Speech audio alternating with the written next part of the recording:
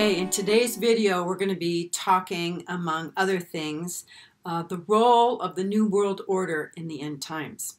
And this is a very big subject, and um, Revelation does talk about this, believe it or not. Uh, a second question we could ask then it, will the New World Order be a part of the beast empire the beast system, the beast kingdom? Will the New World Order have a place in his kingdom? And sort of a, a follow up question is what is the relationship of the Antichrist or beast with the New World Order? What, what kind of a arrangement do they have? And how is Satan working all of this um, to further his agenda? I know a lot of people out there believe that the things that they see going on in the world right now with the New World Order uh, that looks like it's rising to the fore, they see the things that are happening and they equate them with the things that the beast or the Antichrist is going to be doing during his reign. Now, I'm going to tell you up front, he's going to use some of the things that the New World Order has sort of brought into existence, um, actually, as a result of, I believe, dark spiritual forces that have allowed this to happen. But what Satan is really going to do is he's going to create his controlled opposition. He has been using the New World Order for his purposes for, you know, thousands of years. Actually, the New World Order is the same Old World Order that we saw way back in Babel with the Tower of Babel and Nimrod.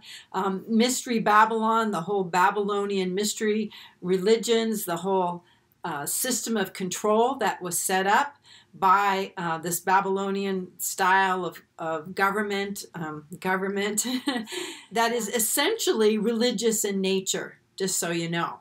So even though there are what we would think of as being secular aspects to this whole mystery religion thing, like education, for example, doesn't seem to have anything to do with religion, but actually it does. Medicine, um, science, all of that are actually at their foundation, they're religious in nature. They have a uh, belief system. It's faith based at some level where you believe what people are telling you. All, all, of the world's systems right now are part of this old world order slash what we call the new world order. This is all a part of the Babylonian system. It's all part of Mystery Babylon. In my book, I talk a lot about the harlot and how she's been around for a long time and the harlot has infiltrated even Christianity. Most Christian churches, if not perhaps all of the bought into the 501c3 thing have some element of compromise in them.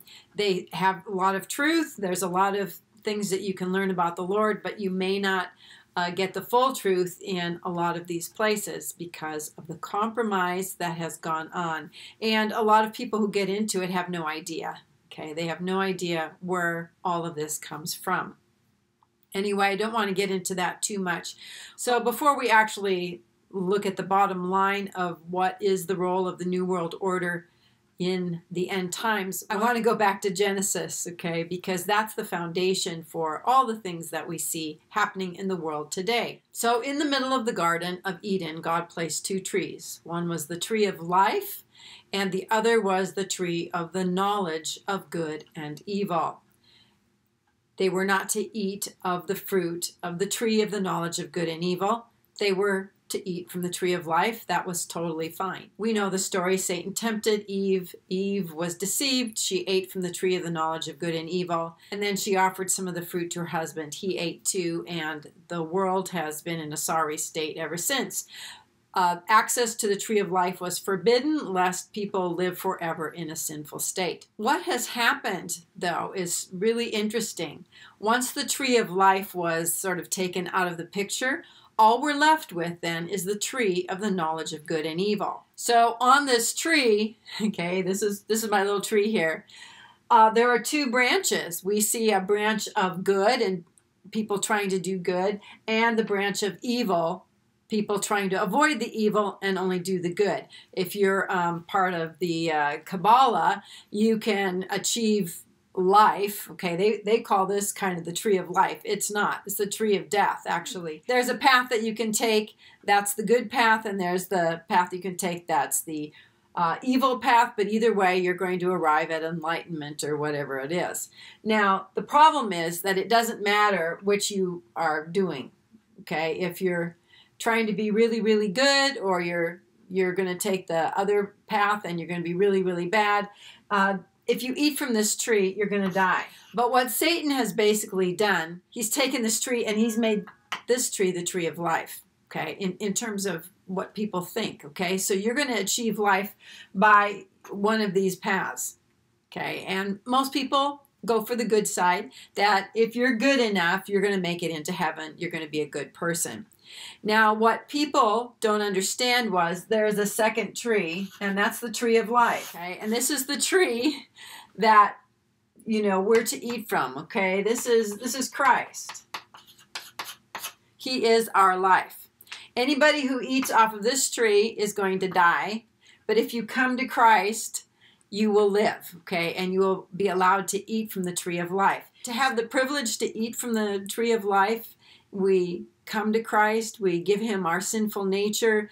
Um, he offers us the atoning sacrifice, the work that he did on the cross. That's our substitute for our um, sins and our misdeeds and, and our fallen nature. And then he gives to us life from the Spirit that is imparted to us. So he gives us then his life, which is placed inside of us.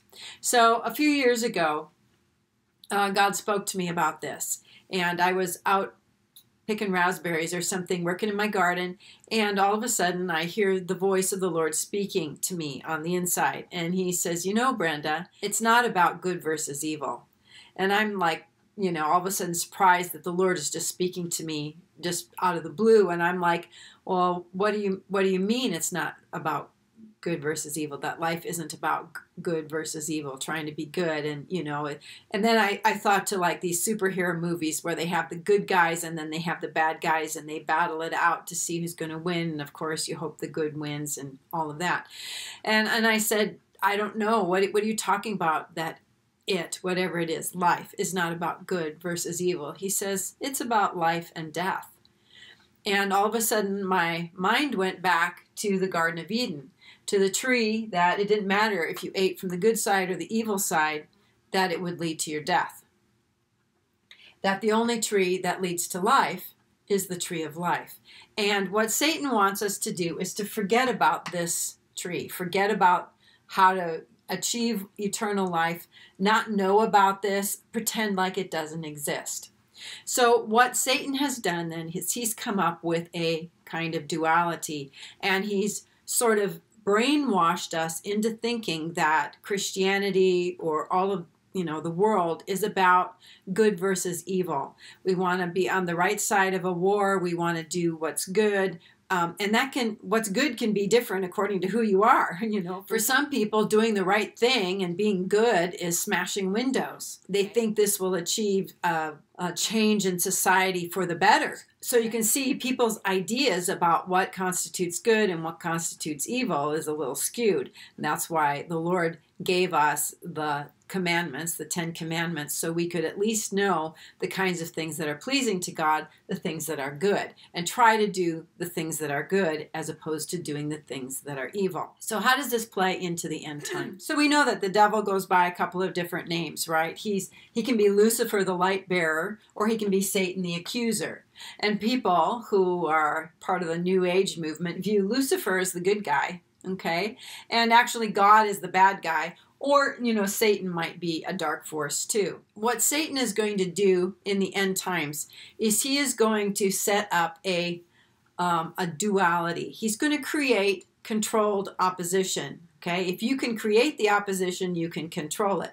So, what he's done for the past few thousand years is he's created controlled opposition, and we would call this the New World Order or uh, Babylonian religion or, or the harlot.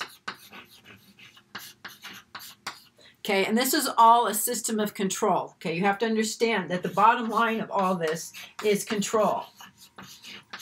It's controlling the world. Whether you're controlling the finances of the world, you're controlling the medicine of the world, the food of the world, uh, the opinions of the world. Everything about the New World Order, the Babylonian harlot system, is about control. That's the bottom line. So what Satan has done is he set up uh, a system that looks kind of like a pyramid, okay, with the people in the know at the top and the sheep at the bottom who don't know anything. And it's the people at the top that control what's going on. So this world right now is under the control and influence of Satan. He's using this organization, this group who's been around since forever, okay, since Old Testament times, since Genesis. He's using this system. He is making this system be the bad guy. Okay, this system is going to be seen wearing the black hat, right? The harlot system, the New World Order system, is going to be seen as the bad guy. So, increasingly, as the days go on, what we're going to see is more and more evidence that this cabal, the New World Order, this harlot Babylonian system of control has done us wrong. Okay, they've controlled the financial situation, and now everybody's uh, poor. Nations are like in debt up past their eyeballs. Personal debt is way over the top. You've got central banks controlling things. You've got fiat currency, you know, um, the Federal Reserve. You've got all kinds of things that are part of this control system, the American Medical Association. You've got all kinds of the education system. All of this is part of the control that's under the New World Order. And increasingly, what we're going to see is these people are the bad guys. These people are the bad guys. The good guy is going to be the Antichrist. So if this is the, the bad system and the bad guy wearing the, ba- the black hat, who's the one wearing the white hat?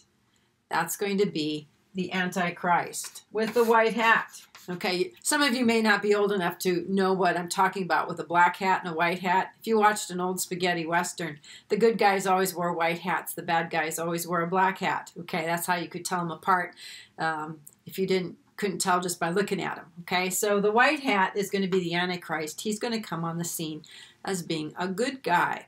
All right, so how does this work? One of the things that I always found really interesting in the book of Revelation is how much emphasis is put on the harlot. Okay, the harlot is the one who is said to be drunk with the blood of the saints.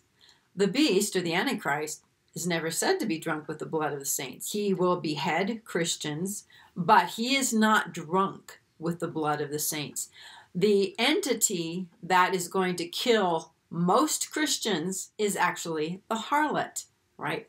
Not the beast. And remember, it's the harlot that rides the beast, which means she's in control. And she's in control during the first half of the seven years. Okay, so here's our timeline midpoint. This is the beginning. This is the second coming of Christ at the end. Okay? The scarlet beast is ridden by the harlot up until sometime just before the midpoint. And after that, it's the beast who rises from the sea or the beast who ascends from the bottomless pit who's in control for the rest of this time. And there's no harlot because the beast hates the harlot and he destroys her with uh, fire, smoke, and sulfur at the sixth trumpet right here. Sometime before this point, when the harlot's destroyed, um, the harlot is going to kill millions and millions of believers. And it, it'll be during a 10 day window of persecution. This is after the first rapture, after we're gone, and many, many, many millions of people will come to Christ. There'll be so many people that come to Christ that it'll be the New World Order versus believers. This system is a system of control. If you can't control these guys, you better get rid of them. And that's what they'll do. They're going to murder um, Christians. They're going to incite the earth dwellers, people who live on the earth, to kill believers. This is going to be a purge. That's why we have all this predictive programming about a purge. That's what's going to be coming. People who live on the earth, okay, don't like either one of these guys. Okay? The earth dwellers really don't like the New World Order control and they don't like believers either. Now, the Antichrist, okay, doesn't like the harlot, the New World Order, and he doesn't like believers. He's going to let the New World Order, also known as the harlot, Mystery Babylon, kill believers. Then you got rid of one. And then at the midpoint, um, when the abomination of desolation takes place, that's when he takes out the harlot, the New World Order. Now, you have to understand, the earth dwellers don't like the New World Order either. The fact that the Antichrist is able to get 10 kings and a 200 million man army to kill a third of the earth means most of the world is going to be fed up with these people who are in positions of power and control. Revelation 18 talks about the destruction of the harlot, the destruction of the new world order. Kings of the earth, the rich men, the merchants, the people who make money transporting all these goods. These are the people that it's going to affect. They are going to be very, very unhappy. Why? They thought they were going to have a place in the beast empire, the beast kingdom. The fact is, they are not going to have a place in that empire. The beast will not use these people. He does not want them. He doesn't like them. That's the people who've been riding him. He doesn't like them. He doesn't want them. He will use them, though, to get rid of believers who he also hates. All right, so let's say now that you're someone who gets saved, okay, back here somewhere after the first rapture. Uh, you manage to make it through the purge, you're not killed. You come to the other side of the, um, right at the time of the midpoint. The Antichrist is taking a seat in the temple of God, and all of a sudden you realize that he is killing the people who killed your friends, that he is totally wiping out the new world order. He is getting rid of all the people who murdered your family, your friends, the people who loved Jesus, who were martyred back here. And you see this this man, he has also uh, been killed um, by the two witnesses, and then he has uh, risen from the dead. He's alive. Okay? And he now puts an end to the system that wiped out your family. I mean, he like totally wipes it out. So if someone were to ask you, um, what do you think about the New World Order? How do you feel about it? You know, if you're a Christian or someone who's, you know, in the know or is, is, awake at this point, you go, well, the New World Order is terrible. It's awful, and it's uh, it's anti-Christ, it's anti-God, it's got a system of evil that's just terrible. You know, it's going to make Christians do things they don't want to do, and all of that. Okay, so if you were to ask a Christian, you know, how do you feel about the New World Order? You would say it's bad. Now, let's say you get to the other side of this, you know, you made it without being killed in the 10 day purge, and this man comes along, kills all the people who killed people like you, who killed Christians. I think I'd be a little confused. And then if I saw that he died and rose from the dead, I think I'd be a lot confused. I would be a lot confused. So what Satan is going to do here is he's going to, he creates his own uh, bad guy in the form of the harlot so he can get rid of her and come off as the good guy as the antichrist. The antichrist does martyr people. He does require things from people but he is not drunk with the blood of the saints. All of that is placed on the harlot. The antichrist lets the harlot do his dirty work and then he gets rid of the harlot and he starts looking like the good guy. And it's planned that way because partially we've been led down the primrose path to think of things in terms of a duality, good or evil. You're either the good guy or you're the bad guy. And there's only two, okay? The fact is, these are both bad guys. So there's a saying the enemy of my enemy is my friend. And if the enemy of my enemy becomes my friend during the time of the end, uh, you're going to be in big trouble neither one of these people are your friends. Neither one. And part of the deception will be because people have been sucked into this false dichotomy of good versus evil. So if you can control who the good guys are and you can control who the bad guys are, you are in control of the whole thing.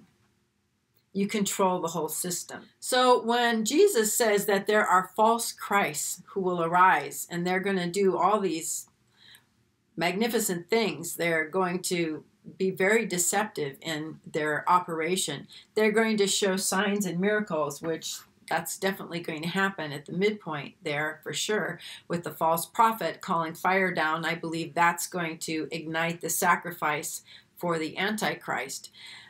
But one of the things that Christians are buying into that is really a problem, and it's going to be a problem if this gets carried over into the time after we're gone, and that is believing in this duality that the New World Order is our enemy. And then when someone comes on the scene and totally does away with a system that's been in existence for thousands of years and sets up a new kingdom of amazing stuff, it's going to be very difficult to believe that he's the bad guy and they may be sucked into the deception that because he died and he rose from the dead, uh-huh. because he has all these great signs that accompany him, because he's going to start doing all these amazing things, that he is the good guy. So, somewhere during the next few months, the New World Order is going to get a lot of bad press. And people are going to hate some of the things that the New World Order is doing, what they're insisting upon. Not just believers, but other people as well, especially when it comes to things like banking and the economy and even even maybe the medical industry. So the new world order isn't going to be seen as being a good thing. A lot of people even non-believers are going to want to see the demise and destruction of that entity. And this is where a, a, lot of confusion is going to come into play. And if believers are confusing the New World Order with the beast, oh dear, okay, the New World Order is not going to be a part of this system. It's not a part of it at all. It's a whole nother thing.